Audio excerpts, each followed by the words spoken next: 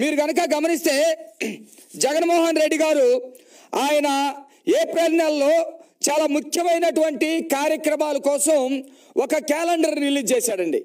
మీరందరూ గమనించాలి. దానిలో ఏప్రిల్ ఆరో తారీఖు వైఎస్ఆర్ బీమా ఏప్రిల్ తొమ్మిదో తారీఖు జగనన్న దీవెన ఏప్రిల్ పదమూడో తారీఖు ఉగాది రోజున వాలంటీర్లకు సత్కారం. సత్కారం ఎందుకు చేయాలి వీళ్ళకి?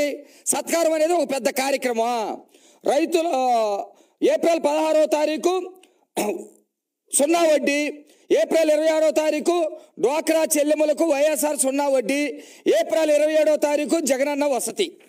ఇవి ఇప్పుడు చెప్పాల్సినటువంటి అవసరం లేదు. అయితే ఇది మనకి ఎట్లా అర్థమవుతుంది? జగన్మోహన్ రెడ్డి ఈ డేటుల్లోనే ఎందుకు ఈ పథకాలని లేకపోతే ఈ సన్మానాల్ని ఎందుకు పెట్టాడు అని అంటే తెలియక పాపం అమాయకంగా మనమంతా నోళ్ళు ఎల్లబెట్టుకొని చూసేటువంటి పరిస్థితి. అయితే బిట్టుగాడి సినిమా ఏదైతే జులాయ్ అనే సినిమా చూసి బిట్టుగాడిని కనుక అర్థం చేసుకుంటే ఈ ముఖ్యమంత్రిని మనం స్పష్టంగా అర్థం చేసుకోవచ్చు.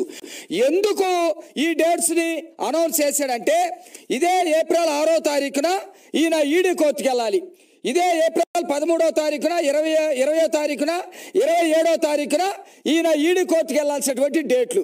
ఈ డేట్లు నాడు ప్రజలందరూ కూడా జగన్మోహన్ రెడ్డి ఈడీ కోర్టుకు వెళ్ళాడు అని చెప్పేసి చర్చించుకోకుండా ఆ చర్చించుకునేటప్పుడు ఈయన ఒక నేరస్తుడని లక్షల కోట్లు దొబ్బేశాడని తండ్రిని అడ్డం పెట్టుకున్నాడని ప్రజలు అనుకోకుండా ఉండాలంటే అదే డేట్స్ నాడు ఏదో కార్యక్రమాలు ప్రకటించినట్టుగా మనం అందరం కూడా చూసుకొని ఈ పథకాల గురించి చర్చించుకోవాలి.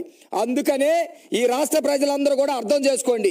జో ఏప్రిల్ ఆరు పదమూడు ఇరవై ఇరవై ఏడు ఏప్రిల్ తొమ్మిది పదహారు ఇరవై మూడు ఈ డేట్స్లో ఈడీ కోర్టుకు వెళ్ళాల్సినటువంటి పైన చదివినవి అట్లాగే సిబిఐ కోర్టుకి వెళ్ళాల్సింది తొమ్మిది పదహారు ఇరవై మూడు.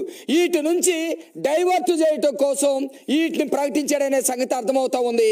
అందుకనే నేరస్తుల ఆలోచనలు ఏ విధంగా ఉంటాయంటే జులాయి సినిమాలో బిట్టుగాడిని చూసినా ఆంధ్ర రాష్ట్రంలో ముఖ్యమంత్రి మంత్రులను చూసినా స్పష్టంగా అర్థమైంది అనే సంగతి మరోసారి అందరికి కూడా తెలియజేస్తా ఉన్నా.